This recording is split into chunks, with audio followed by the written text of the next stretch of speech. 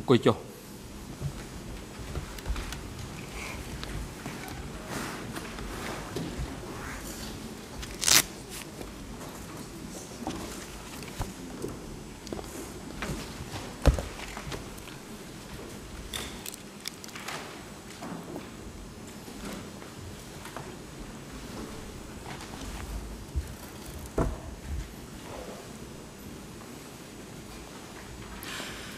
អង្គ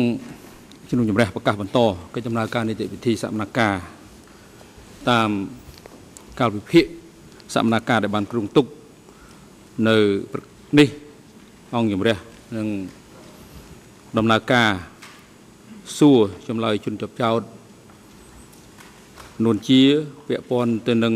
អង្គហេតុដែលអង្គជំរះបានកំណត់សម្រាប់លើកយកមកធ្វើសមនាការពិភាក្សាដេញដោល វគ្គ2នៃសំណុំរឿង002ស្លាស់01នៅក្នុងអង្គហេតុវគ្គ2នៃសំណុំរឿង002ស្លាស់01នេះរួមមានអង្គហេតុនៅក្នុងបរិបទរចនាសម្ព័ន្ធរដ្ឋបាលកម្ពុជាប្រជាធិបតេយ្យ 2គឺអំពីប្រព័ន្ធតំណែងតំណងការងារកម្ពុជាវិជាធិបតេយ្យហើយនឹងបរិបទទី3គឺកថាខណ្ឌមួយចំនួន ដែលពាក់ព័ន្ធទៅនឹងទួនាទីមុខងាររបស់ជនជាប់ចោត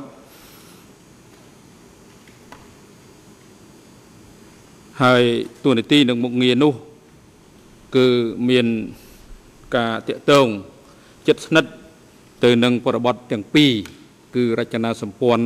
រដ្ឋបាលកម្ពុជាប្រជាធិបតេយ្យហើយនឹងប្រព័ន្ធប្រព័ន្ធតំណែងតំណងការងារទន្ទឹមនឹងនេះដែរដោយបញ្ហានេះវាមានការពាក់ព័ន្ធគ្នា ហើយលំដាប់លំដោយនៃកិច្ចដំណើរការពិភាក្សាដែលអង្គជំរះបានជម្រាបជូនដល់ភាគីកន្លងមកអំពីកិច្ចប្រឹងប្រែងក្នុងការអឺ ពិភាក្សាដេញដោលដោយគោរពឬក៏អនុវត្តនៅគោលការណ៍ទូទៅដោយកម្រិតយកតាមដំណើរការដេញដោលតាមលំដាប់លេខរៀងនៃកថាខណ្ឌដែលបានចោតប្រកាន់ចំពោះជនជាប់ចោតនៅក្នុងដីកាដំណោះស្រាយពីលំដាប់លេខរៀងតូច ទៅលេខរៀងធំនេះជាគោលការណ៍រួមប៉ុន្តែដោយសារនៅក្នុងអង្គហេតុវគ្គ2នេះ អង្គជំរះពិនិត្យឃើញថាស្ថានភាពនិងភាពពាក់ព័ន្ធរបស់អង្គហេតុទាំងអស់នេះគឺគប្បីអង្គជំរះធ្វើការកំណត់និងជម្រាបដល់ភិក្ខីទាំងអស់សូមឲ្យមានការប្រែប្រួលនៅការវិភាសាដេញដោលនៅក្នុងអង្គហេតុវគ្គ1វគ្គ2នៃតំណរឿង002/01ដែលមាន3បរិបទនេះដូចតទៅ ដើម្បីធានាឲ្យកិច្ចប្រព្រឹត្តទៅនឹងគឺបានរលូនជៀសវាងការច្រំដែលឬក៏ជៀសវាងមានភាពច្បុកច្បល់ម្យ៉ាងទៀតដោយសារអង្គជំរះពិនិត្យឃើញថាអំពីទួនាទីភារទួនាទីនិងមុខងាររបស់ជនជាប់ចោតនេះក៏បីអង្គសមនាការទាំងមូលបានដឹងជាមុនទន្ទឹមគ្នាឬក៏បន្ទាប់ពីរចនាសម្ព័ន្ធរដ្ឋបាលកម្ពុជាប្រជាធិបតេយ្យ នោះគឺនាំឲ្យយើងងាយស្រួលនៅក្នុងការពិភាក្សាដេញដោលអំពីប្រព័ន្ធទំនាក់ទំនងការងារដូច្នេះអង្គជំរះកំណត់ថានៅក្នុងកិច្ចដំណើរការសកម្មភាពដេញដោលវគ្គ2នេះ គឺចែកចេញជា3ផ្នែកផ្នែកទី1គឺដេញដោលអំពីរចនាសម្ព័ន្ធរដ្ឋបាលកម្ពុជាប្រជាធិបតេយ្យចាប់ពីកថាខណ្ឌ33ដល់កថាខណ្ឌ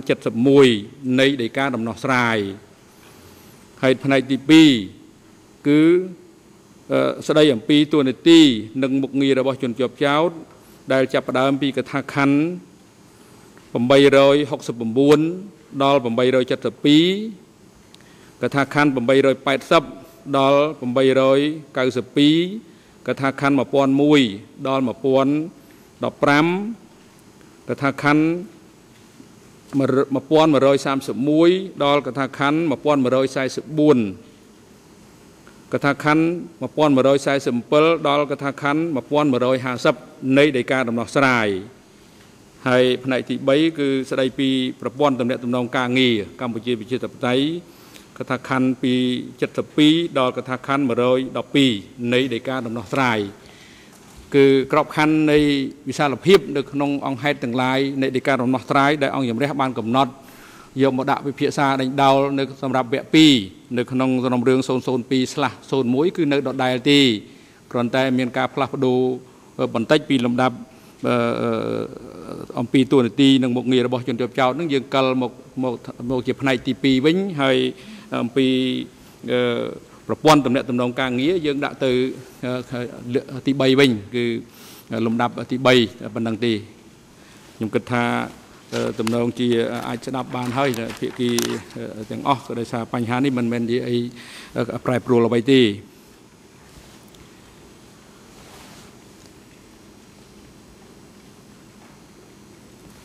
លោកសក្រមស៊ីវិលខាត់រៃសូមបកគលភារកិច្ច ជូនលោកត្រីចក្រមដើម្បីបញ្ជាក់បន្ថែមអំពីការប្រែប្រួលនៃការពិភាក្សានេះប្រៃលោភាគីដែលប្រើប្រាស់ភាសាអង់គ្លេសលោកស្ដាប់មិនយល់អំពីការប្រែប្រួលនៅលំដាប់កិច្ចពិភាក្សារបស់យើង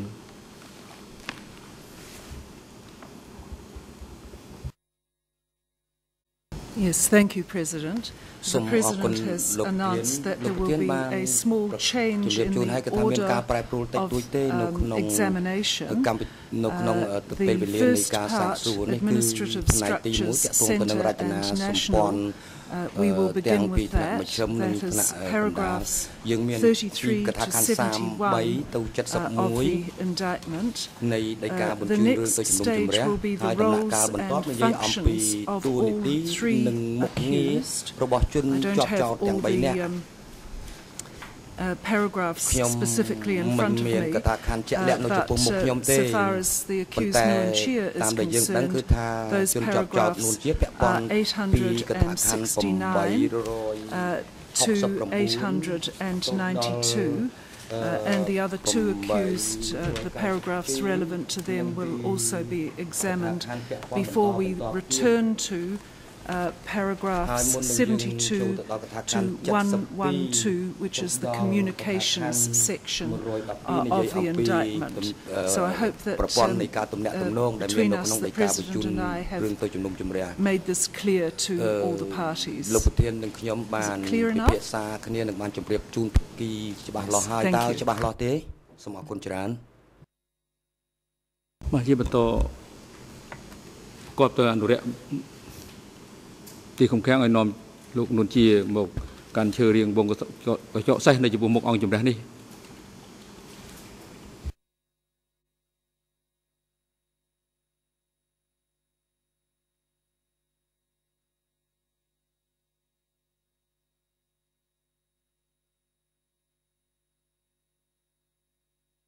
សូមអញ្ជើញលោកមេធាវី Well, uh, my client is being taken to the stand. Maybe I can just make a, a small request. Uh, after uh, you have asked for uh, uh, your first relevant questions as to the identity of the client, or I don't know whether you're going to do that again. Um, my client would like to um,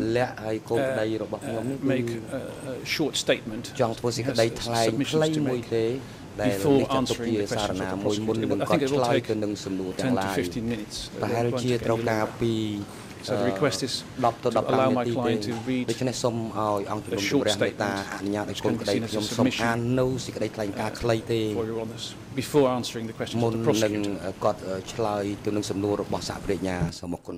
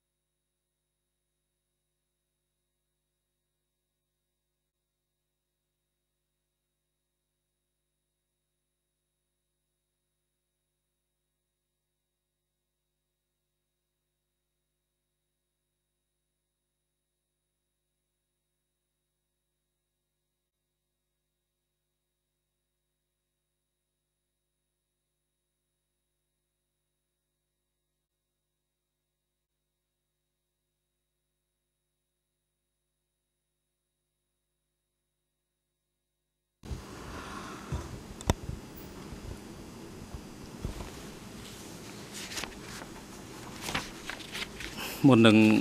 សម្រេចលើបញ្ហាសំណើសុំនេះអង្គជំរះសុំសួរទៅលោកនួនជាថាតើលោកមានការប៉ុនប៉ងធ្វើទៅដោយថ្លែងការនេះវាពាក់ព័ន្ធទៅនឹងក្របខ័ណ្ឌនៃអង្គហេតុទាំងឡាយដែលអង្គជំរះកំណត់លើកយកមកធ្វើសកម្មភាពដេញដោលសម្រាប់វគ្គ2នៃសំណុំរឿង002/01 នេះដែរឬទេ ឬក៏ជាបញ្ហាផ្សេងដោយឡែកពីនេះ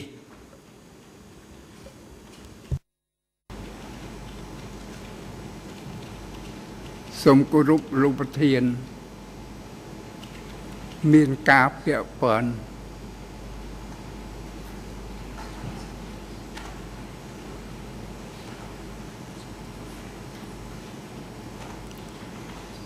បាទអរគុណហើយ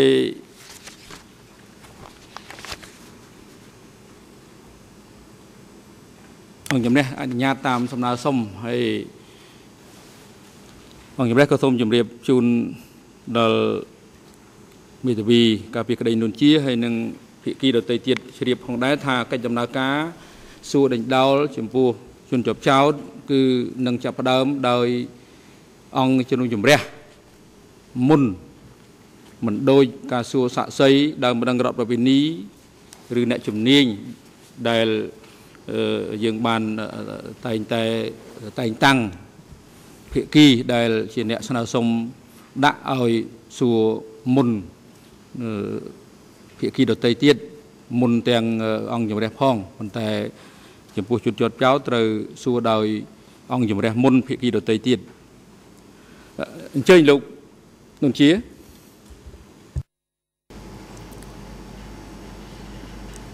សូមគោរព ពុកម៉ែបងប្អូនរួមជាតិទាំងអស់ក្នុងទីនេះទូទាំងប្រទេសនិងក្រៅប្រទេស សូមគោរពលោកប្រធាន ជាទីគោរពយើងទាំងអស់គ្នានៅទីនេះ ប្រកាសថា ស្វែងរកយុត្តិធម៌និងការពិតជូនប្រជាជនកម្ពុជាទាំងមូលក៏ប៉ុន្តែការពិតនៅទីនេះមិនបានបំរើដល់រូបភាពប្រវត្តិសាស្ត្រមួយពេញលេញនិងត្រឹមត្រូវសម្រាប់ ឲ្យប្រជាជនកម្ពុជាយល់ដឹងពីអ្វីដែលនៅពីក្រោយហេតុការណ៍ដែលបានកើតឡើងនោះទេខ្ញុំនៅតែប្រៀបធៀបអ្វីដែលតុលាការ កំពុងតែដេញដោលនេះ គឺជាខ្លួនក្រពើ តែមិនយកក្បាល និងកន្ទុយដែលជាបំណែកសំខាន់ក្នុងការបំរើដល់សកម្មភាពរាល់ថ្ងៃរបស់វាមកពិភាក្សាឬក្នុងន័យម្យ៉ាងទៀតគឺថា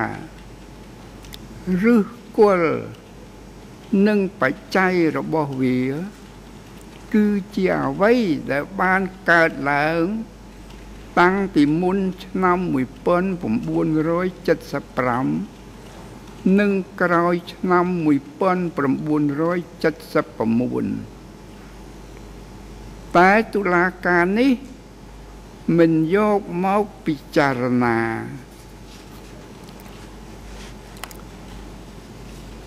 លោកលោកស្រីចៅក្រមជាទីគោរព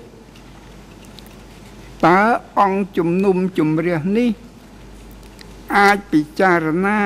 ពីសកម្មភាពរបស់ខ្ញុំ ដោយមិនពិចារណា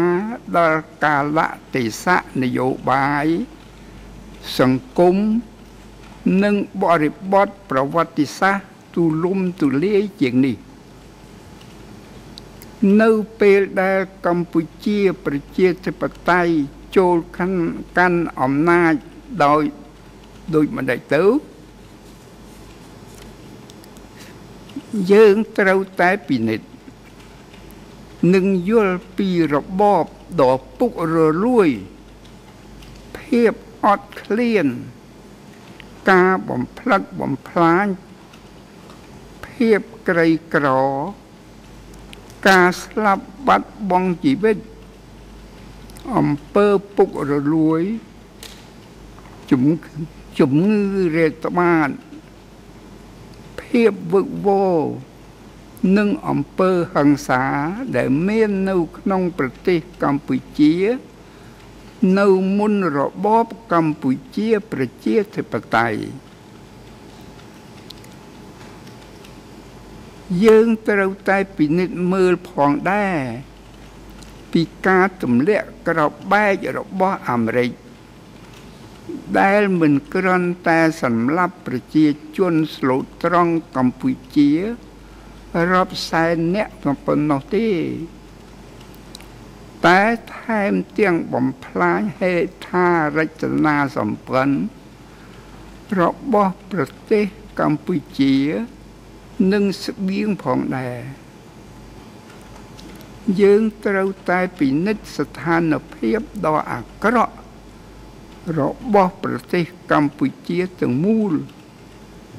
នៅមុនខែមេសាឆ្នាំ1975ដែលទទួលរងនៅការបំផ្លិចបំផ្លាញដោយសង្គ្រាមស៊ីវិលជាច្រើនឆ្នាំ និងដោយគ្មានដំណើរការប្រព័ន្ធសុខាភិបាលទាំងនេះគឺជាអង្គហេតុតកតងដល់ត្រឹមត្រូវជាក់លាក់មួយសម្រាប់តុលាការនេះ ត្រូវតែពិចារណាឲ្យបានពេញលេញនិងម៉ត់ចត់បំផុត ជាងនេះទៅទៀត នៅពេលវាយតម្លៃពីអំពើរបស់ខ្ញុំ គេត្រូវពិនិត្យបញ្ហាបន្ថែមថាតើប្រទេសរបស់ខ្ញុំ ត្រូវបានបំផ្លាញដោយយន្តហោះទម្លាក់ក្របបែក B52 ដែលឬអត់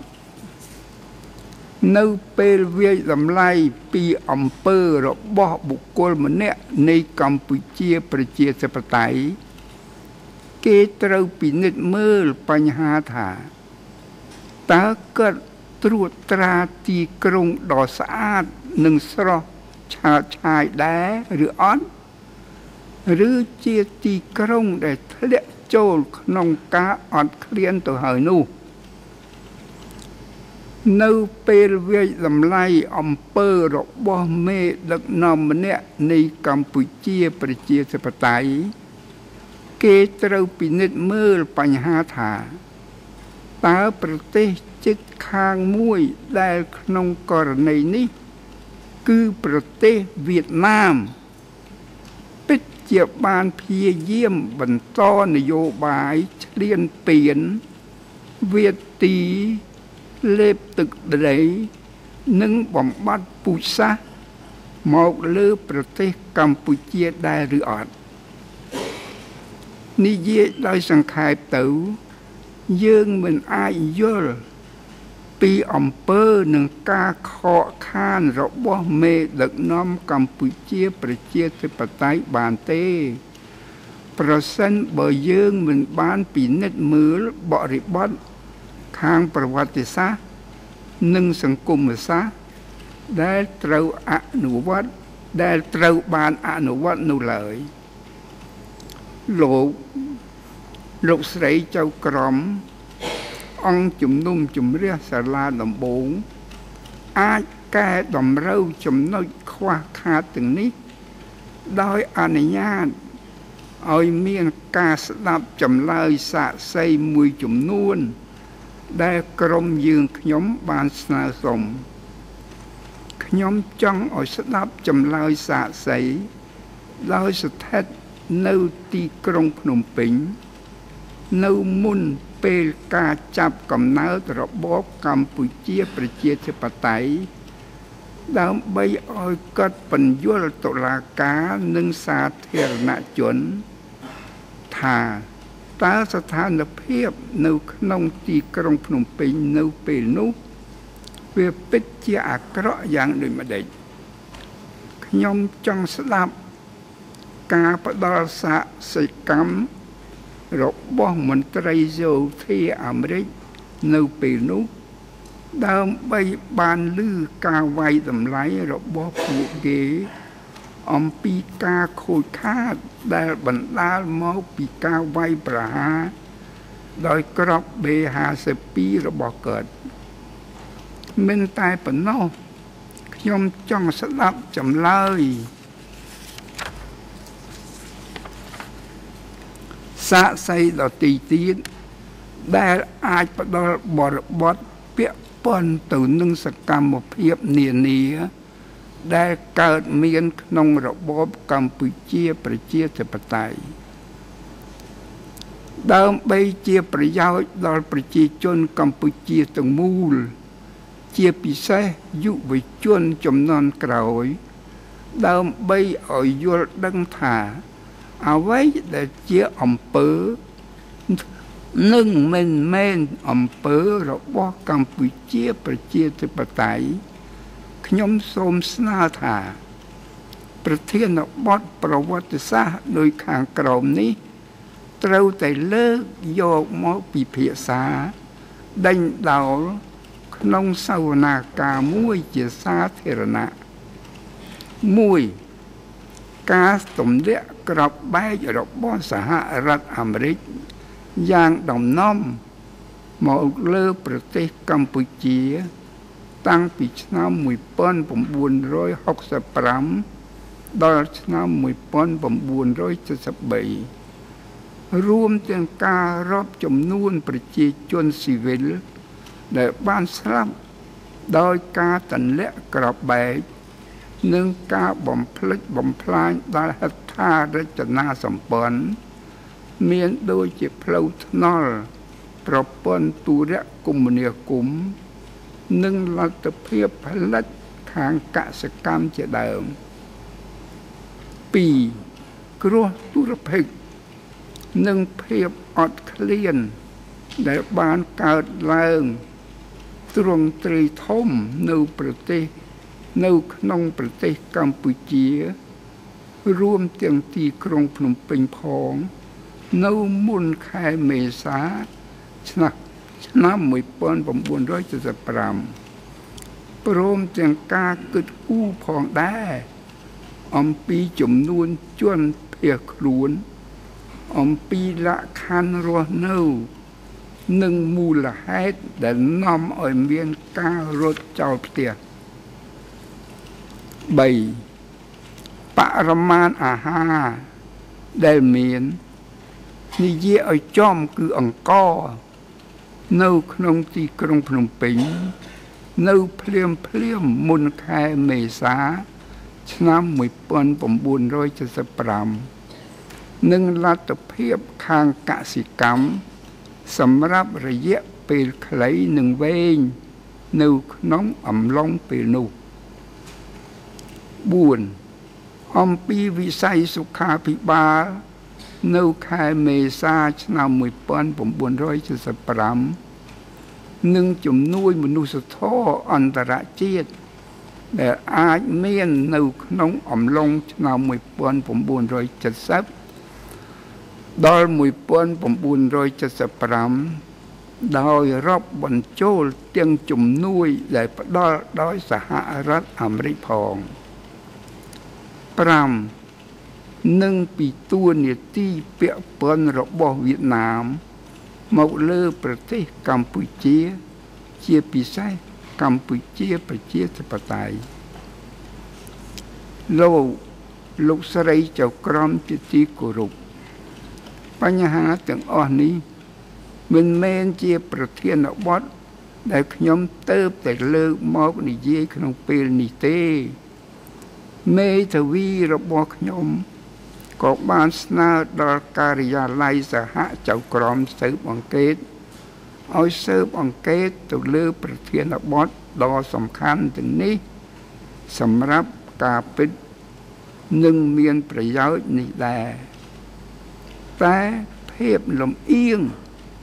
នឹងការប្រងើយកន្តើយរបស់ការិយាល័យសហចៅក្រមស៊ើបអង្កេត មិនបានបំពេញនៅសំណើដ៏មានប្រយោជន៍ទាំងនេះទេ នេះគឺជាការខាតបង់មួយយ៉ាងធំធេងនឹងធ្វើឲ្យប៉ះពាល់ដល់គេឈ្មោះតុលាការនេះយ៉ាងខ្លាំងដែរភាពលំអៀងរបស់ការិយាល័យមួយនេះ ដែលធ្វើការស៊ើបអង្កេត សម្រាប់តែការដាក់បន្ទុកដើម្បីផ្គ ប់ចិត្តការិយាល័យសហព្រះរាជអាជ្ញា គឺជាការអាម៉ាស់មួយដែលយើងទាំងអស់គ្នាដឹងឮនឹងមិនអាចទទួលយកបានទេរឹតតែច្បាស់ទៅទៀតនោះ នៅក្នុងដេកាដំណោះស្រាយរបស់ខ្លួន ចៅក្រមស៊ើបអង្កេតគ្មានសរសេរមួយពាក្យណាសោះតាក់ទងនឹងប្រធានបទខាងលើនេះ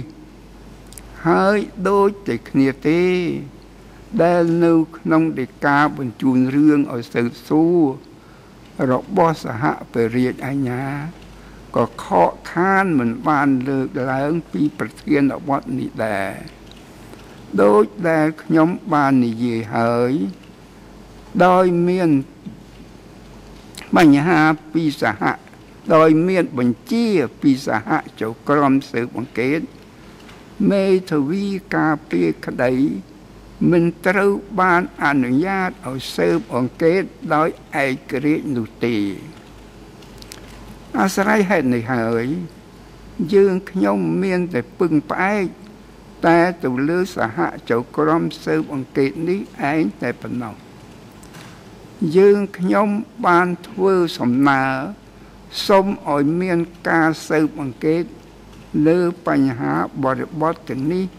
ឲ្យបានទូលំទូលាយជាច្រើនដងប៉ុន្តែសំណើរបស់យើងខ្ញុំសម្រាប់សិនលោកលោកនួនជាផ្អាកសិនលោកនួនជា មានការដកជំទាស់ពីសហប្រញ្ញា និយាយតំណាងសហប្រញ្ញា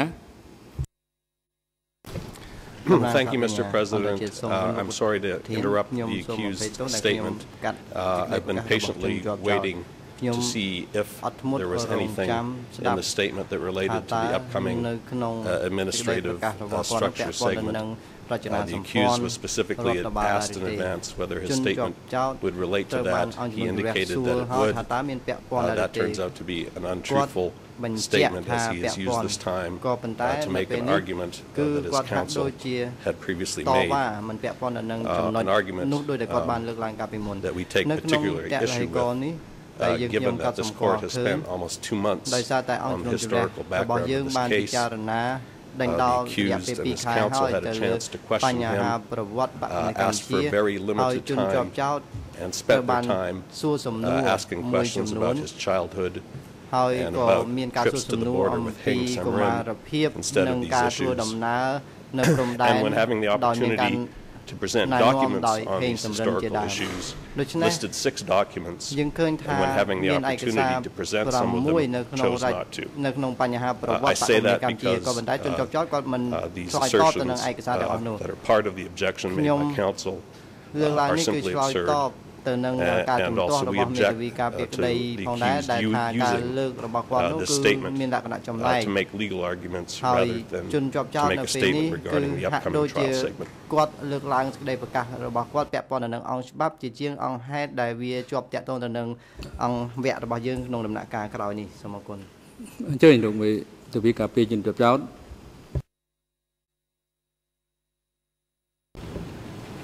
អឺ Mr. President, I don't want to go into another argument. My client has almost finished. So I would like to request my client to finish his statement.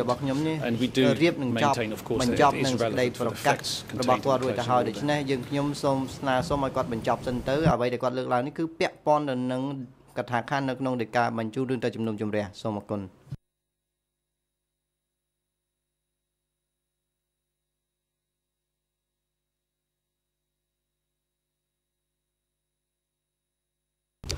បាទជំទាស់របស់តំណាងសហប្រញ្ញាត្រឹមត្រូវដូច្នេះបញ្ឈប់នៅសេចក្តីថ្លែងការណ៍របស់នួនជាដែលបានធ្វើបាញ់មិញនេះត្រឹមនេះហើយជម្រាបលោកនួនជាផងដែរថា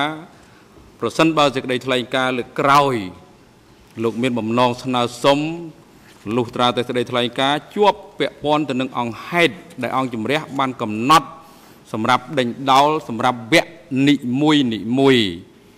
បំបញ្ញមិញនេះមុននឹងចាប់ផ្ដើមដំណើរការពិភាក្សាដេញដោលយើងពិតជាបានរំលឹកឡើងវិញភាគីទាំងអស់ឲ្យផ្ចង់នៅគំនិតបញ្ញាស្មារតីដើម្បីសួរដេញដោលនៅក្នុងក្របខ័ណ្ឌនៃអង្គហេតុដែលបានចោតប្រកាន់បរបបទចំនួន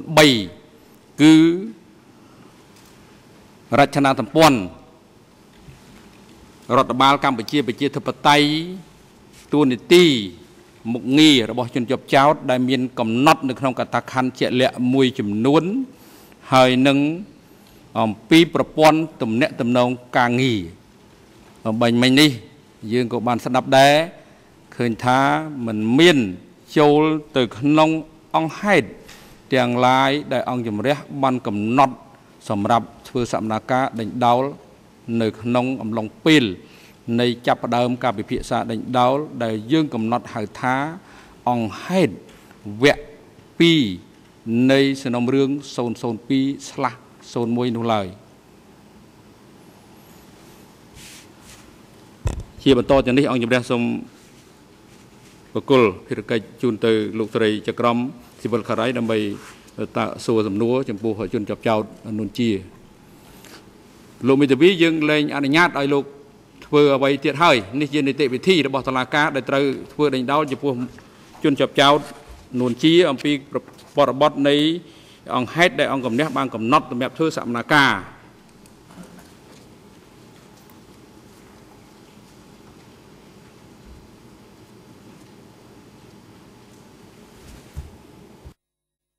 Your Honour, can I? I don't want to make any uh, arguments or observations, so I'd just like to ask for a five-minute break to discuss the consequences of your decision, my client. សូមសម្រាប់5នាទីដើម្បីធ្វើការពិភាក្សាជាមួយនឹងកូនក្តីរបស់ខ្ញុំដើម្បីពិភាក្សាអំពីផលវិបាកការចេញពីសេចក្តីសម្រេចនេះដូច្នេះខ្ញុំត្រូវការពេលវេលាពិភាក្សាជាមួយកូនក្តីរបស់ខ្ញុំសូមអរគុណ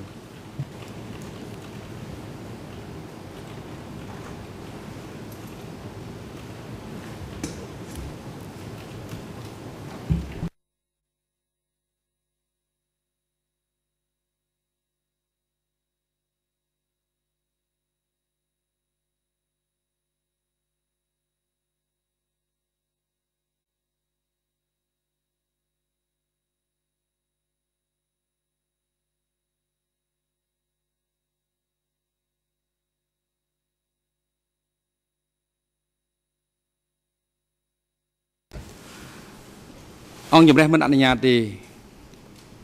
មេធាវីនិងកូនក្តីរបស់លោកគឺមានពេលវេលាគ្រប់គ្រាន់ពីព្រោះប្រធានបទដែលអង្គជំរះបានកំណត់នេះគឺបានដាក់ជូនលោកយូរណាស់ហើយ តាមអនុសនៈផ្សេងផ្សេងដែលអង្គជំរះបានកំណត់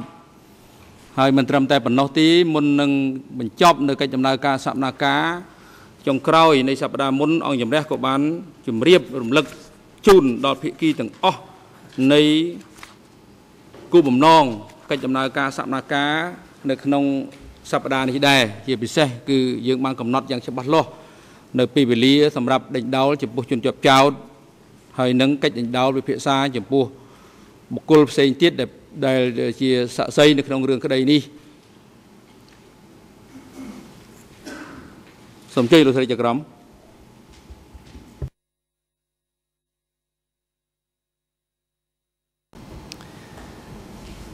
Yes uh, good morning នួនជាសូមសួស្តីអរុនសួស្តីលោកនួនជា Good morning នួនជាអរុនសួស្តីលោកនួនជា I would like to say at the outset that the chamber fully understands your uh, uh, reasoning concerning the events that happened prior to uh, 1975. However, today we are focusing for the first time directly on the administrative structures, the centre and for the national parts of Cambodia from 1975 on. Some weeks ago, we discussed in some detail the work that you and Tu Samut in particular did developing the tactical lines and strategy for the party. And I fully understand that uh, this was very important work for the Communist Party of Kampuchea and that you are very knowledgeable about the history of the party's tactical lines and strategy. You also told us that in 1960 the party adopted a statute.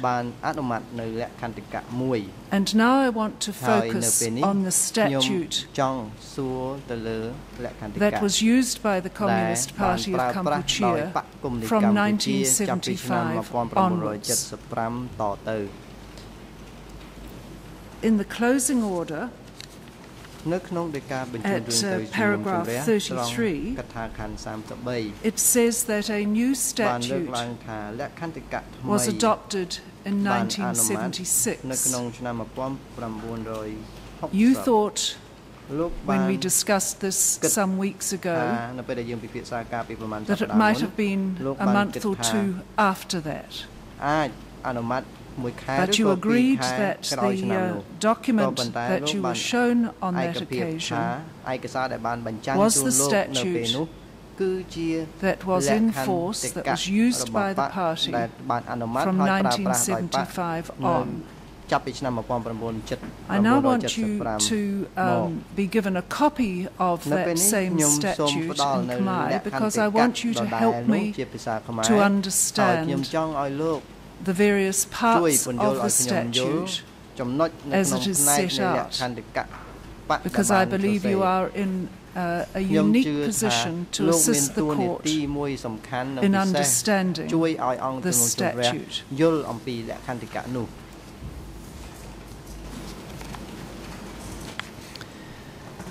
The document that has uh, just been placed before Nuon Chea is uh, the Communist Party of Kampuchea Statute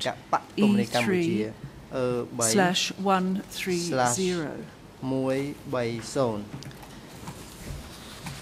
I'd like to start by asking you some questions about the fundamental principles and political stances of the party that are set out in the first part of that statute. First of all, it's correct, isn't it, that the very first uh, paragraph in the statute names the Revolutionary Party as the Communist Party of Kampuchea. Is that correct? ជាបកកុម្មុយនីសកម្ពុជាតើត្រឹមត្រូវដែរឬទេ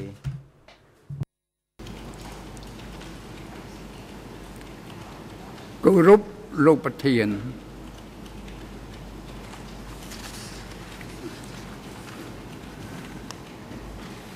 ខ្ញុំសូមប្រើសិទ្ធនៅស្ងៀមសិនរហូតតលតែបាននិយាយជាមួយមេធាវី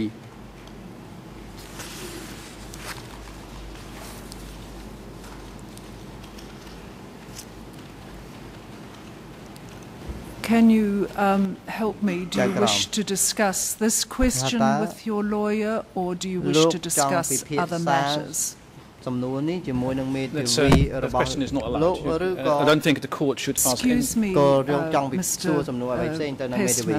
មេធាវីគឺខ្ញុំមិនឲ្យសួរសំណួរនេះទេ And I simply wish to clarify before we discuss សេចក្តីសម្រេចរួចមកហើយហើយខ្ញុំចង់បញ្ជាក់បំភ្លឺបានច្បាស់លាស់មុនជាមួយនឹងកូនក្តីមួយជាមេធាវីសូម It's not up to the court to ask any questions about what I will discuss. ខ្ញុំគិតថាមិនអង្គជំនុំជម្រះមិនអាចសួរសំណួរនៅអ្វីសំណួរទាំងឡាយណាដែលយើងខ្ញុំមិនទាន់បានពិភាក្សាជាមួយនឹងកូនក្តីរបស់ខ្ញុំនោះទេសូមអរគុណ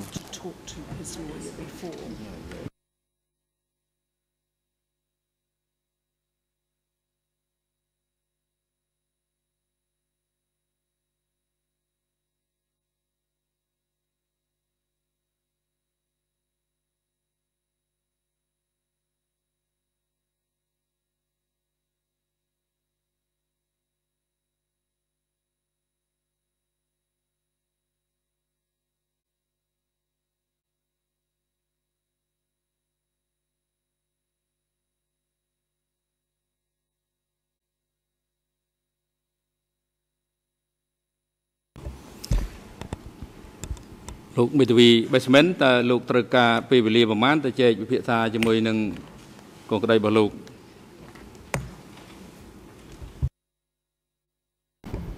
មេធាវី press As I said 5 minutes ដោយដែលខ្ញុំបញ្ជាក់ខ្ញុំសុំ5នាទីគឺគ្រប់គ្រាន់ហើយសូមអរគុណ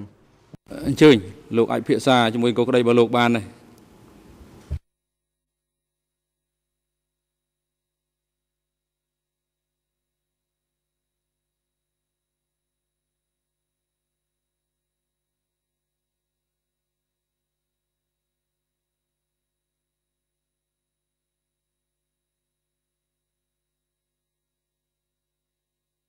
អនុរិយថយចេញសិនទៅឲ្យ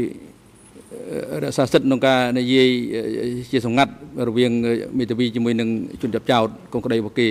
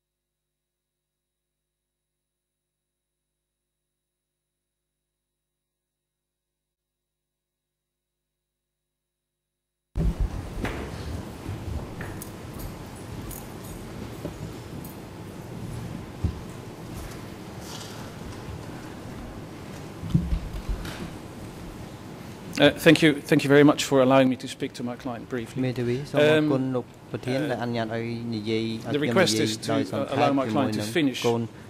reading his submissions he had almost finished there was one more page I think it will not take more than 2 or 3 minutes I think it's important that it's allowed to finish because the last part of his submission actually contained a request for this trial chamber ទៅលើសេចក្តីប្រកាសដោយក្នុងនោះមានសំណើ he's doing is making an oral submission And I think he should be allowed to do so and I think the trial chamber has then to decide on this or submission. Uh, I just discussed this with my client. If he's not allowed to finish ខ្ញុំទើបតែវិភាគសារជាមួយនឹងកូនក្តីរបស់ខ្ញុំគាត់បានបញ្ជាក់ថាប្រសិនបើគាត់មិនអាចបញ្ចប់នៅសេចក្តីប្រកាសរបស់គាត់នោះទេគឺគាត់នឹងមិនធ្វើការឆ្លើយតបទៅនឹងសំណួរដែលពាក់ព័ន្ធនឹងរចនាសម្ព័ន្ធរដ្ឋបាលឬក៏អង្គហេតុដែលពាក់ព័ន្ធនៅក្នុងវគ្គនេះពីឆ្នាំ1975ដល់79នោះឡើយសូមអរគុណ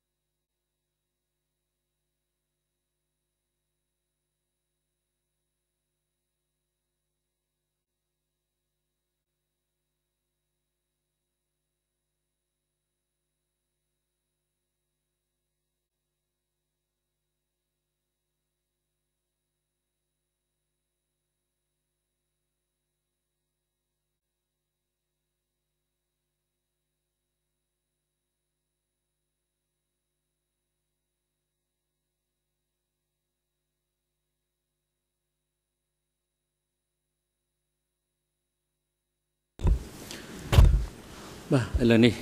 ដើម្បីដោះស្រាយបញ្ហាប្រឈមចំពោះមុខអស់ជំរះយល់ព្រមអនុញ្ញាតឲ្យនួនជា បន្តនៅសេចក្តីថ្លែងការណ៍របស់ខ្លួនប្រសិនបើសេចក្តីថ្លែងការណ៍នោះមានការពាក់ព័ន្ធទៅនឹងអង្គហេតុដែលអង្គជំរះបានកំណត់ សម្រាប់ធ្វើសកម្មភាពវគ្គ2សម្រាប់ដំណុំរឿង002/01 នេះ ទន្ទឹមនឹងនេះដែរអង្គជំរះក៏កត់សម្គាល់អំពីអកប្បកិរិយារបស់មេធាវីអន្តរជាតិការពីក្តីនួនជាផងដែរដែលបានបញ្ចេញនៅអកប្បកិរិយាមិនសមរម្យនៅក្នុងកិច្ចពិភាក្សានេះសូមជ័យលោកនួនជាសូមអរគុណលោកប្រធានសូមគោរពខ្ញុំសូមអានបន្ត ដូចដែលខ្ញុំបាននិយាយហើយ ដោយមានបញ្ជាពីសហចៅក្រមស៊ើបអង្កេតមេធាវីការពារក្តី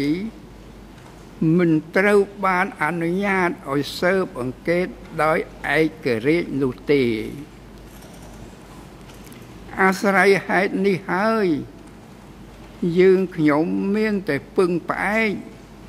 តែទៅលើសហចៅក្រមស៊ើបអង្កេតនេះឯងតែប៉ុណ្ណោះយើងខ្ញុំបានធ្វើសំណើសុំឲ្យមានការស៊ើបអង្កេត លើបញ្ហាបរិបទទាំងនេះឲ្យបានទូលំទូលាយជាច្រើនដងប៉ុន្តែសំណើរបស់យើងខ្ញុំ មិនដែលត្រូវបានយកមកពិចារណាតលតែសោះ ការប្រព្រឹត្តរបស់ការិយាល័យសហចៅក្រមស៊ើបអង្កេត មកលើសំណើរបស់យើងខ្ញុំ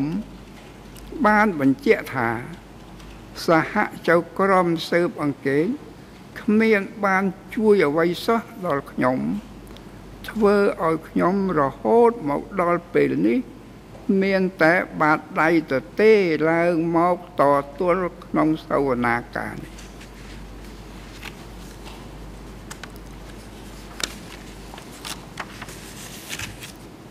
ខ្ញុំសង្ឃឹមថា អង្គជំនុំជម្រះសាលាដំបូងនេះ មិនដូចការិយាល័យសហចៅក្រមស៊ើបអង្កេតទេ ហើយរំពឹងថា លោកលោកស្រីចៅក្រមនឹងប្រើប្រាស់ធនានុសិទ្ធឆន្ទានុសិទ្ធរបស់ខ្លួន ក្នុងការស្វែងរកការពិត មានប្រយោជន៍និងយុត្តិធម៌អាស្រ័យដោយហេតុផលយ៉ាងខាងលើនេះខ្ញុំសូមស្នើដល់អង្គជំនុំជម្រះ1សូមបន្តផ្នែកបរិបត្តិប្រវត្តិសាស្ត្រនៅមុនឆ្នាំ1975ដូចដែលបានរៀបរាប់ខាងលើឲ្យបានຫມត់ចត់ ទូលំទូលាយ ដើម្បីឲ្យជាតិខ្មែរនឹកនិងបរទេសយល់អំពីយល់ឲ្យបានច្បាស់លាស់ហើយប្រសិនបើអង្គជំនុំជម្រះនៅតែបន្តទៅផ្នែកមួយទៀតនោះខ្ញុំនឹងពិចារណាប្រើសិទ្ធនៅស្ងៀមរបស់ខ្ញុំ2សូមឲ្យមានការស្ដាប់សាកសី និងអ្នកជំនាញដែលបានស្នើឡើង ដោយមេធាវីរបស់ខ្ញុំបន្ថែមទៀតដើម្បីជួយដល់តុលាការនេះសម្រាប់បាននៅយុត្តិធម៌មួយពិតប្រាកដដែលអាចទទួលយកដោយគ្រប់ភាគី3នឹងតាមច្បាប់កម្ពុជា ខ្ញុំសូមស្នើដល់អង្គជំនុំជម្រះ អនុញ្ញាតឲ្យខ្ញុំ មានសិទ្ធិដាក់ឯកសារភស្តុតាងថ្មីថ្មី បានគ្រប់ពេលរហូតដល់ចប់ដំណើរការ នេះជាអ្វីដែលខ្ញុំស្នើឡើងនៅថ្ងៃនេះបញ្ហាមួយទៀតខ្ញុំសូមអនុញ្ញាត លោកប្រធានមេត្តាផ្ដល់នៅចម្លើយខ្លះខ្លះ ពីអ្វីដែលខ្ញុំបានស្នើដោយផ្ទាល់មាត់នៅទីនេះកាលពីថ្ងៃទី16ខែកុម្ភៈឆ្នាំ2012តើសំណើរបស់ខ្ញុំនេះ ដែលត្រូវបានលើកយកមកពិភាក្សាដោយអង្គជំនុំជម្រះដែរឬទេព្រោះវាមានរយៈពេលជិតមួយខែមកហើយ តាំងពីសំណើនេះត្រូវបានលើកឡើង តែរហូតមកដល់នេះពេលនេះខ្ញុំមិនទាន់បានចម្លើយណាមួយពីអង្គជំនុំជម្រះសោះសូមលោកប្រធានមេត្តាផ្ដល់ចម្លើយដោយអនុគ្រោះសូមគោរព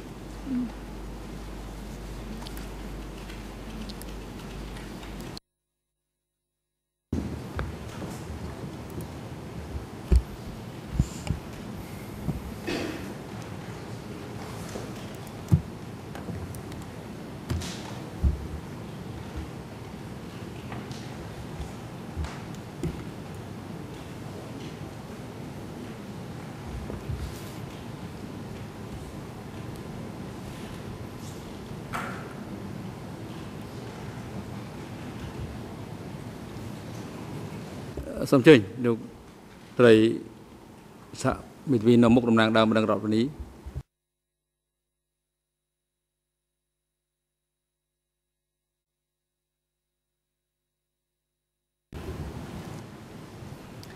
Oui, Monsieur le Président, j'entends la fin de la déclaration de M.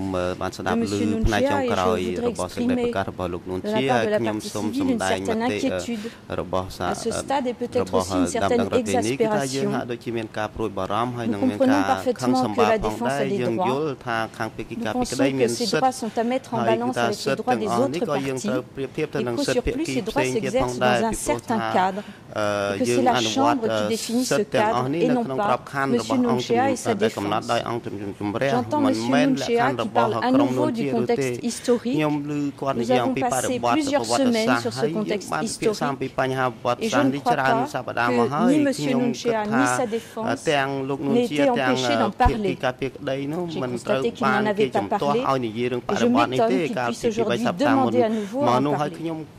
ផ្អើលណាស់ដែលឥឡូវនេះសូមបន្តនិយាយពីបរិបទប្រវត្តិសាស្ត្រទៀតតែខ្ញុំក៏ចង់បង្ហាញផងដែរថាតើភាគីបពាក្យក្តីអឺថាធ្វើបတ်តែគាត់មានសិទ្ធិមែនក៏ប៉ុន្តែគាត់មិនត្រូវប្រើសិទ្ធិនេះជាធ្វើជាការគំរាមកំហែងនោះទេពួកខ្ញុំសង្កេតឃើញថាលោកនួនជាបានលើកឡើងថាបើសិនជាមិនចង់ធ្វើអ្វីដែលខ្ញុំចង់បានទេខ្ញុំនឹងឈប់និយាយបាទយើងទាំងអស់គ្នាចង់ឲ្យលោកនួនជានិយាយក៏ប៉ុន្តែទន្ទឹមនឹងនោះខ្ញុំមិន accepter toutes ces conditions pour qu'il parle et la Chambre en particulier. Ce procès doit avancer. Il n'est pas fait que pour M. Nunchia. Il est fait pour toutes les parties civiles et les victimes que nous défendons. Et nous souhaiterions que la Chambre exprime à M. Nunchia le fait très clair qu'il ne dicte pas les conditions de ce procès. Merci. ទៅមាន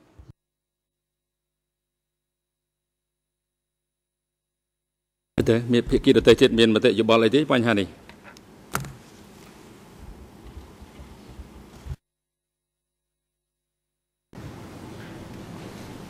Uh, thank you, Mr. President. Um, I,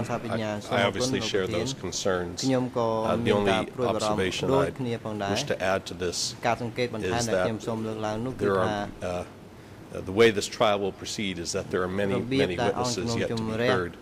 Uh, unlike the accused, where we are structuring their testimony on particular segments, when witnesses appear, they will be able to address historical background issues. So to the, to the extent the accused is suggesting that no future witnesses uh, can address uh, events prior to pre, pre uh, April 1975, គឺដែលលើកឡើងដែលថាมันអាចគាត់ជួនជាប់ចោតនួនជាមិនអាចលើកឡើងហេតុការណ៍មុនឆ្នាំ1975នោះគឺមិនត្រឹមត្រូវនោះទេហើយក្រៅពីចំណុចនេះគឺខ្ញុំទុកសិទ្ធិឆន្ទៈនិស្សិតឲ្យអង្គជំនុំជម្រះធ្វើការដំណើរការនីតិវិធីទៅតាមឆន្ទៈនិស្សិតរបស់ខ្លួនសូមអរគុណ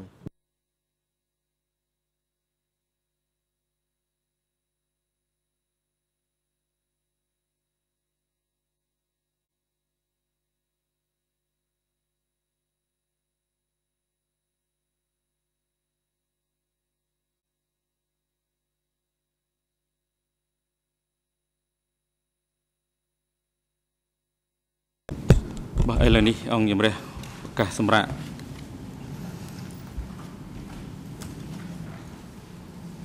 45នាទីចាប់ពេល2នាទីទៅរហូតដល់ម៉ោង11ខ្វះ10នាទីសូមអញ្ជើញចូលវិញដើម្បីបន្តកិច្ចដំណើរការសកម្មភាពសូមអញ្ជើញលោកមេធាវីជាតិការពីក្តីឲ្យលោកអៀងសេរីសូមអរគុណលោកទៀនហើយសូមគោរពលោកលោកស្រីចាក់ក្រម ដោយសារបញ្ហាសុខភាពលោកអៀងសេរីស្នើសុំលះបង់សិទ្ធិក្នុងការចូលរួមក្នុងសវនាការដោយផ្ទាល់នៅនៅថ្ងៃនេះសម្រាប់ថ្ងៃនេះពេញតែម្ដងតែសូមចូលរួមសវនាការនេះដោយវិចោលពីបន្ទប់រងចាំខាងក្រោមអាស្រ័យហើយនេះសូមលោកប្រធានមេត្តាអនុញ្ញាតសូមអរគុណបានស្ដាប់សំណើសុំរបស់ជនទិបជនចោតអៀងសេរីដែលធ្វើឡើងតាមរយៈមេធាវីការពីក្តីរបស់គាត់ស្នើសុំលះបង់សិទ្ធិមិនចូលរួម